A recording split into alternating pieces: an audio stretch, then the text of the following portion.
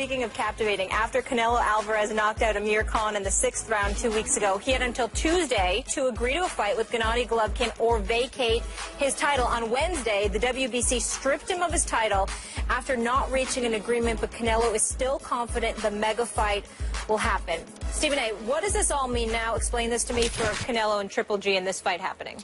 Well, it shouldn't mean anything. Uh, Canelo will use it as an excuse potentially uh, to, to justify trying to get Triple G down below the 160 pound limit, try to get him to fight at 155. Canelo, I'm sorry, Triple G has made the case all along. Why should I fight you at 155? You're the reigning middleweight champion. If this were Floyd Money Mayweather moving up from a, a traditional welterweight division to try and fight a middleweight and I had to meet him there, that would be different. But you are the middleweight champion. Now, Canelo not having the belt anymore can justify not having to fight at the 160 pound limit, thereby saying, Triple G, if you want this money and you want this mega fight, you're going to have to come down to 155. And he obviously is going to have the support of Oscar De La Hoya and Golden Boy Promotions, who are going to do everything they can to facilitate a situation that assists in, in Canelo Alvarez obviously winning because he's their ticket. He's their money man. And we all know that Triple G is bigger and presumably stronger. So it, it remains to be seen. It's the fight we all want. Oscar and them swear they want to give us the fights we want to see. And to me, I don't see the problem because even if Canelo loses to Triple G, I believe that Canelo will be every bit as big as he is right now because he's a big time fighter and he would be fighting the middleweight champion. It doesn't negate what he can do at the at the at the super welterweight division and beyond. So I just think that they got to find a way to make this fight. I love Oscar De La Hoya. I like messing with him sometimes, but I respect the hell out of him. I'm a fan of what he does, but I hope he doesn't let me down. I hope he makes sure that this fight happens. I, I like your point, especially about 155 pounds. Makes sense to me. I, I still don't trust that Oscar De La Hoya, Golden Boy Promotions, want to give us this fight that we all clearly want yet. I'm just not convinced of that. They might have let this 15-day period expire, not just so they could renegotiate weight divisions and, and catch weight or whatever it's going to be, but are you sure that, that they they want to, or they don't want to protect that golden goose that is Canelo a little longer because I just don't think he could beat Golovkin right now. Now, Golovkin's 34 years of age, Canelo 25 years of age, but are you sure that the strategy isn't let's let's pick at least one more, maybe two more winnable, makeable, sellable fights against smaller fighters where, where you can do the catch weight going down. And obviously there's Keith Thurman and Danny Garcia, Kell Brook. There, there are all sorts of good fights that you could sell and you could win. And if, if you go ahead and make this match now and you lose to, to Triple G, as we both think that he would lose, you, you don't kill the Golden Goose, but you damage it a little bit, well, right? Well, yeah, I, I agree. I agree, and where I'm where I where I'm losing faith in Canelo is what he said. I'll fight Triple G, I'll beat Triple G, but I won't be forced into the ring with Triple G. All of this other stuff. I get all of that, and I know there's some mega fights for him to fight at the welterweight division. And not only that, he's a money man. He's going to make the money because people have been running from Triple G so much. Triple yeah. G, is much of a knockout artist as he is, he ain't the box office attraction Canelo has with the support of Mexico. In reality, though, is this what you call them into the ring for? What you told the world you'll fight anybody, anywhere, anytime. What you do all of that for if you then are planning on not fighting him and fighting somebody else. That'll be an incredible fight right now. You say you're ready for him to be your next fight. If you didn't mean it, why call him out like that for? Completely unnecessary. Completely unnecessary. On both him and Oscar's part. We shall see. Your boy Jerry Jones is trying to get this one at AT&T Stadium win. Yep. And if I wouldn't mind happen, that. Yeah. I wouldn't either. But I think I, th I, think this fight belongs in Vegas, though. Yeah. I mean, a 100,000 seat stadium as big as that jumbotron is. I get all of that, but I think a fight like this belongs in Vegas instead of Texas. We shall see. Can't knock Jerry's hustle, though. He's he's always I on the forefront the of everything. All right, more first take after the break. There's something I need to get into with Stephen.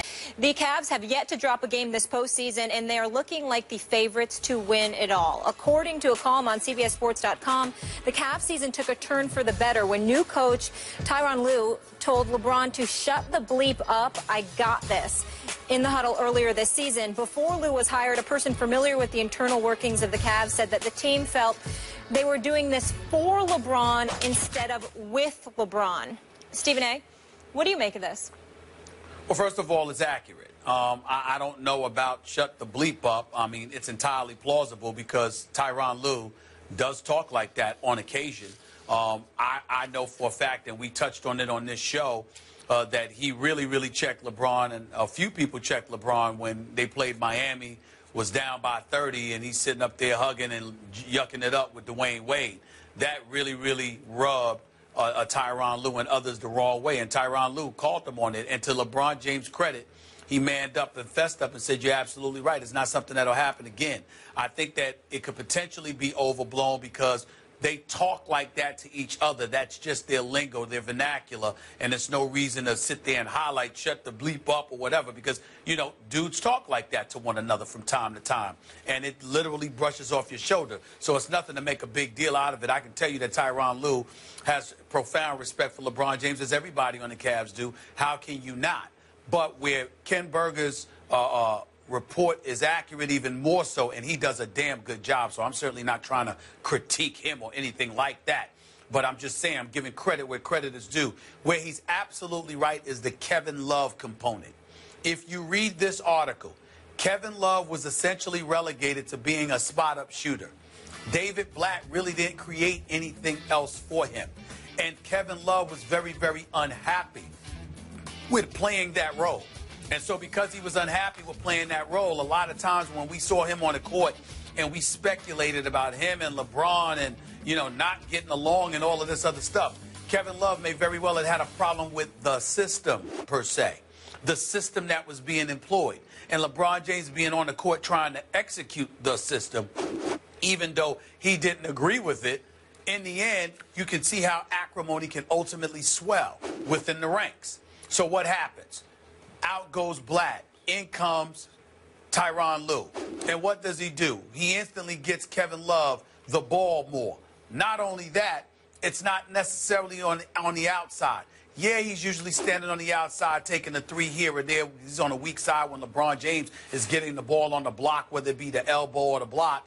But Kevin Love is there too. And he's getting touches in the paint area.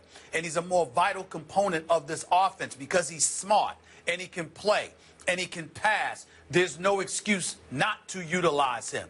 So Tyronn Lue figured that out.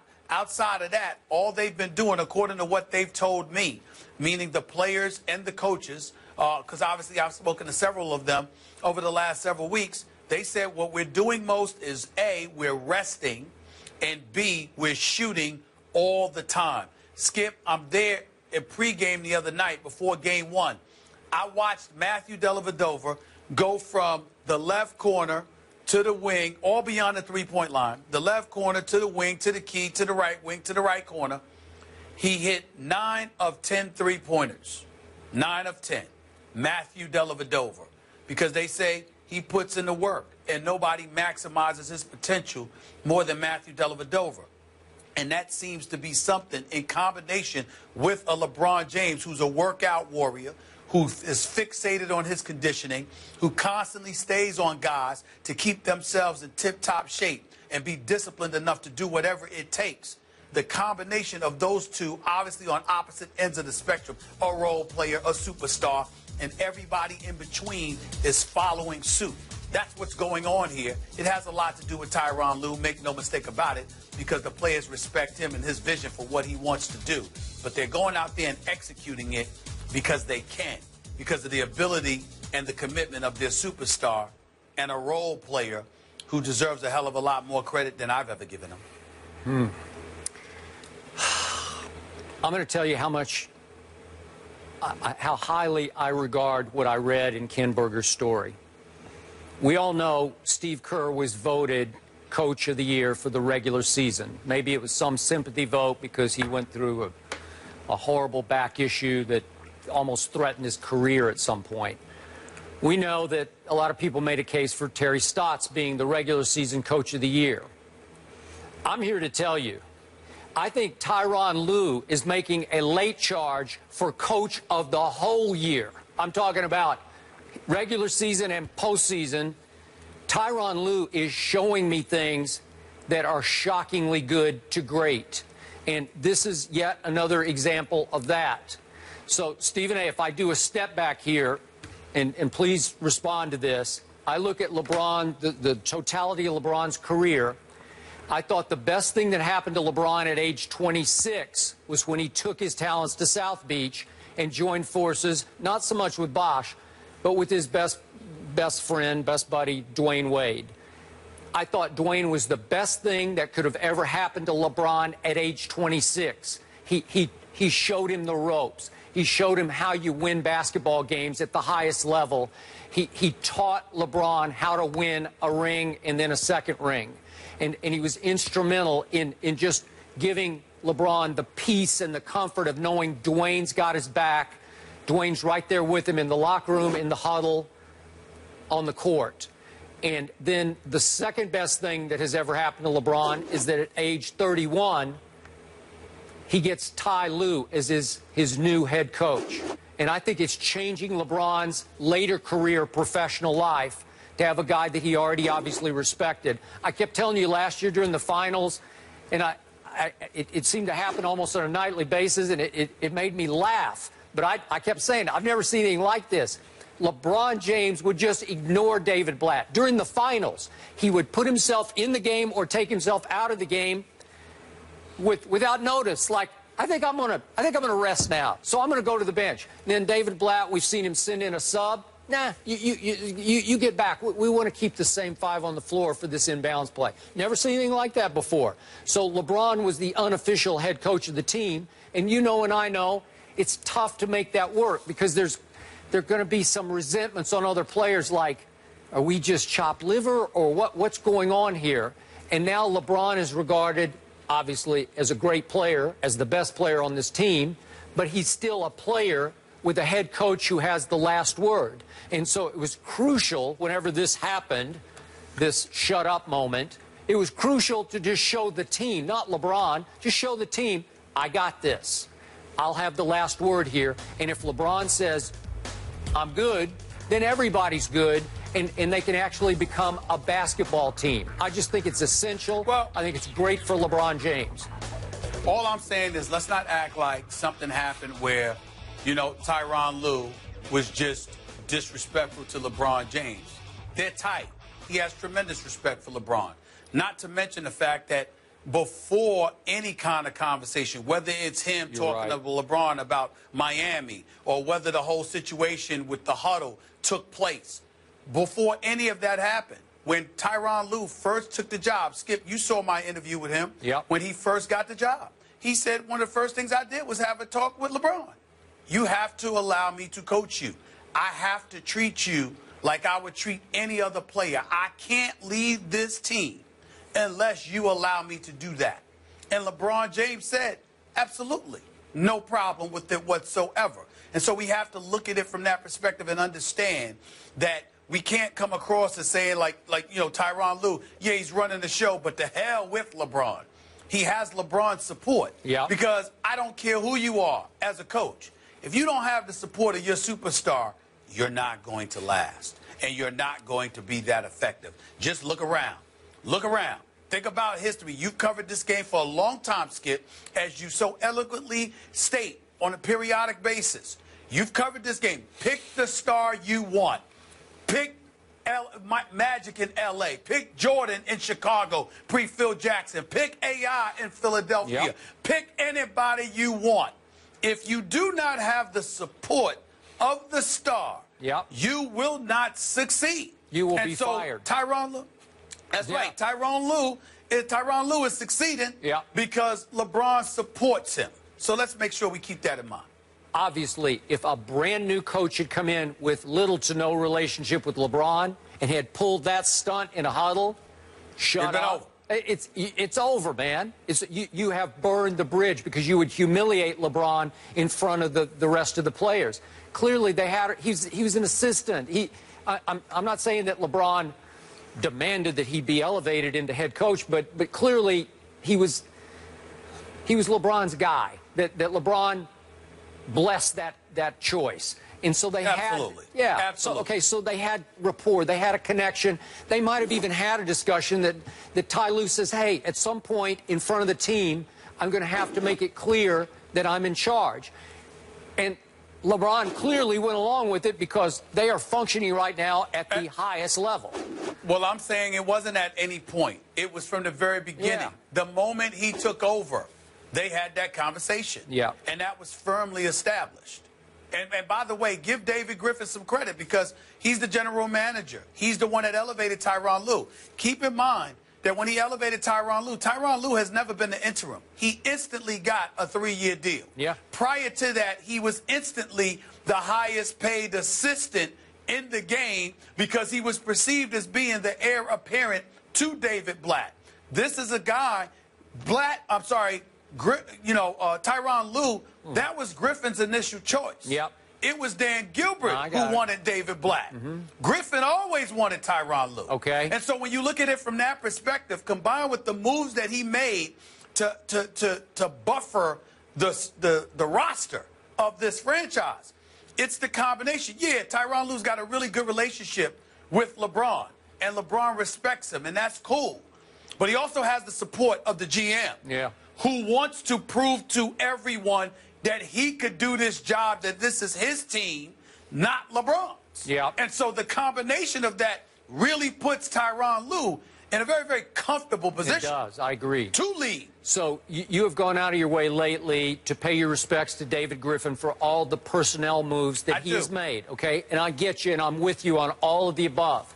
But for me, from a distance, the single best new move, new addition that gives LeBron the best chance to win his third ring is this new head coach. That's just me. Absolutely. Sure. Above Uh, no, no, no, no, no. Channing You- you- Frye you- or whoever. Yeah. you- You're, to- you're totally right. But what I'm saying to you is don't just look at the move, look at the particulars. He could have brought him in there and gave him the interim tag.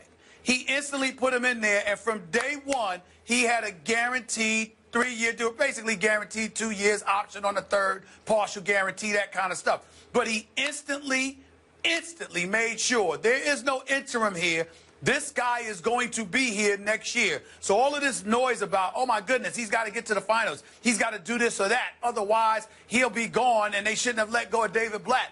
That has never been in David Griffin's plans. It has never been part of the plan in Tyronn Lue's eyes. Yeah. They made the decision from day one. I got you. Tyronn Lue is the new head coach. I know. That helps, is And- what I'm saying. And since That he helps. took over, to me, I don't see any other coach doing a better job in this period that Ty Lue has been the head coach of the Cleveland Cavaliers. I agree with that. I agree with that. But how do we ignore, you know, uh, uh, you know, Kevin Love? How do we ignore Channing Frye? How do we ignore the fact that you have these components? Listen, I'm going to be critical when folks deserve it, and I'm going to be fair and complimentary when they deserve it.